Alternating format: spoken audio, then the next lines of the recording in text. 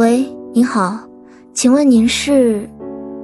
夏小姐作为天帝的服装师，已经旷工整整三天，现在整个剧组都在等着你的服装初稿。请问你是准备让所有人都等你玩够了吗？三天不够，我再给你放一个月的假，或者一年。不好意思啊，实在是很抱歉，我以为暂时不需要我设计的衣服。哼，不需要，那跟你签约干什么？我不需要听你的道歉，没有金刚钻就别揽瓷器活。如果夏小姐不打算继续为天地剧组设计服装，可以解约，只要赔给我们违约费就行了。我们去找更适合这个工作的人。我已经设计了几个演员的服装，那就带着你的画稿来锦江集团。陆秦霄说完，便直接将电话给挂了。二十多分钟的时间，夏浅汐便直接来到了锦江集团。您好，请问陆总的办公室是在几楼？请问您是？我是一名设计师，我叫……不好意思，陆总现在正在开会，没有时间见任何人。陆总开会需要多长的时间？谁知道呢？可能十多分钟就结束，也可能好几个小时。您改天再来吧。时间一分一秒的过去，夏浅汐差不多等了四十多分钟的时间。现在已经过去这么长的时间了，陆总应该开完会了吧？请问他的办公室在几楼？我有事要。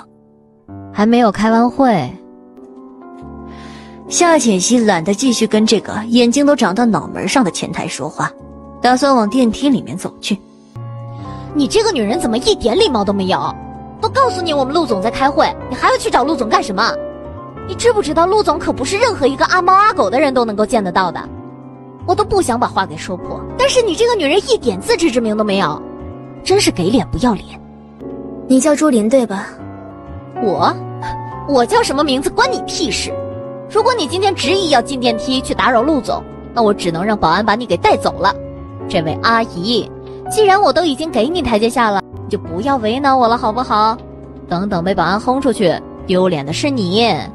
他直接拿起手机，回拨了陆秦霄的电话号码。很快，电话就被接通。陆总，贵公司的前台就是这般目中无人、刻意刁难的吗？如果您不愿意见我，大可以直接跟我解约，违约费我还是赔得起的。陆总不需要这样侮辱人。你以为随随便便打一个电话我就会怕你吗？如果你有陆总的联系方式，你怎么可能还不知道陆总的办公室在几楼？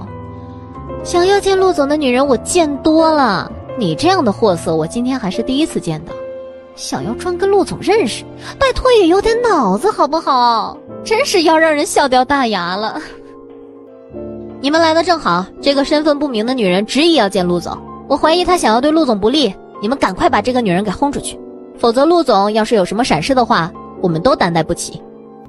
周林啊，刚刚人事部经理亲自给打电话，让我告诉你去财务部把这个月的工资结算一下。从现在开始，你不再是锦江集团的员工了。什，什么？我被炒鱿鱼了？你你你开玩笑吧？我怎么可能会被炒鱿鱼？而且还是人事部的经理亲自给你打电话。人事部经理可是我的叔叔，他怎么可能会开除我？你绝对是在开玩笑！你要是不相信的话，就去问人事部的经理。我们现在要看着你离开锦江集团，大家都是同事，你也别为难我们。不，我才不会离职！你们跟这个女人是串通好，想要骗我的，对不对？这个女人到底给了你们多少钱？我看她也不像是有钱的人，姿色倒是有几分。难道她是给你们睡了吗？叔叔，刚刚这些人说是你要开除我。这绝对不是真的，对不对？你怎么可能会开除我呢？是我开除你的。我们锦江集团不需要没有眼力的员工。今天锦江集团的脸都已经给你丢光了。这位小姐，对不起，是我有眼不识泰山，您帮我向陆总求求情好不好？我刚刚不是要有意冒犯您的，我只是认为您跟那些想要接近陆总的女人一样，所以才对您那样的态度。我现在知道错了，求求您帮帮我好不好？我今年刚刚大学毕业，如果被锦江集团炒鱿鱼，其他的公司绝对不会再要我，我这辈子就算是毁了。我给您下跪可以吗？只要您愿意帮我。好啊，那你下跪吧。这，这位小姐，求求你大发慈悲。要下跪的是你，让我大发慈悲的也是你。你工作对你有利的，你拿来欺负我；道德对你有利的，你就用来绑架我。让我宽恕你，你凭什么把所有的利益都给占据了呢？你们赶快带着他去办离职手续，必须在十分钟之内完成。夏小姐，我带您去陆总的办公室。谢谢。夏浅汐的语气礼貌而又疏远，很快就被人事部经理带到了陆秦霄的办公室门口。哎呀，讨厌了，陆总，别这样嘛，会被人看到的。嗯 不要了。人事部经理敲了敲门，正在跟魏安安亲热的陆秦霄便将目光给落在了门口。陆总，夏小姐来了。啊，陆总，这是我最近设计的一线演员的服装。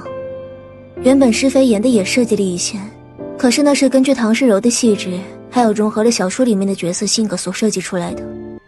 如今唐诗柔出事，施飞演的衣服只能重新设计。哎，这一张挺好看的，是给我的角色设计的。我好喜欢这一张画稿啊，真是太漂亮了。夏小姐果然不愧是国际服装大赛的冠军，设计的衣服真的是太好看了。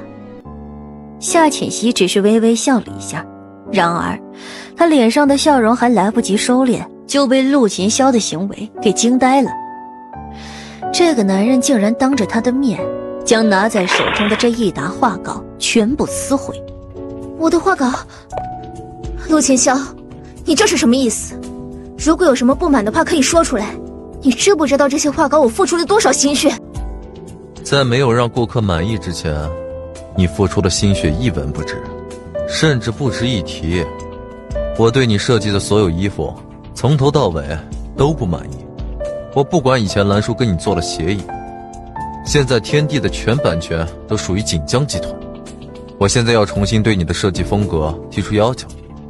陆秦霄从办公桌的抽屉里面拿出了另外一叠文件，用手敲了敲这一叠文件，里面所有的品牌 logo，我要在你设计的服装上面见到，因为这些都是赞助商。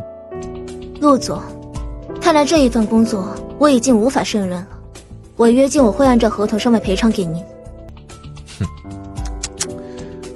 果然有了 SK 集团作为靠山，就可以这么的硬气。自己能力不足，无法设计出让我满意的作品，还要自我安慰我在针对他。你就永远活在别人的羽翼之下，走别人替你铺好的路吧。既然这么没能力啊，还装什么清高，要发展自己的公司啊？几天之内交成果。我需要随时知晓你的进度。从现在开始，你每天给我汇报一次。并且发给我你的图片，同意我的好友申请。夏浅汐皱眉，刚开始还不太懂陆秦霄的意思，但是当他手机震动了一下，他拿出手机一看，这才反应过来，男人已经申请加他微信好友了。嗯，陆总，这里怎么掉了一串车钥匙啊？难道是夏浅汐的吗？哎，陆陆总，您这是要去哪儿啊？锦江集团的电梯里面，刚进入电梯的夏浅汐双手拿着手机，正在回薄月白的消息。当电梯门要被关上的时候，没想到突然间又开了。你的钥匙。低着头的夏浅汐被吓了一跳，连忙抬起头来，发现陆秦霄竟然已经站在了他的身边。谢谢。就在夏浅汐打算去将这一串钥匙给接过来的时候。没想到，明亮的电梯里面灯光突然间就忽明忽暗起来，平稳下降的电梯此刻竟然也迅速的往下掉，紧接着，电梯陷入了一片漆黑。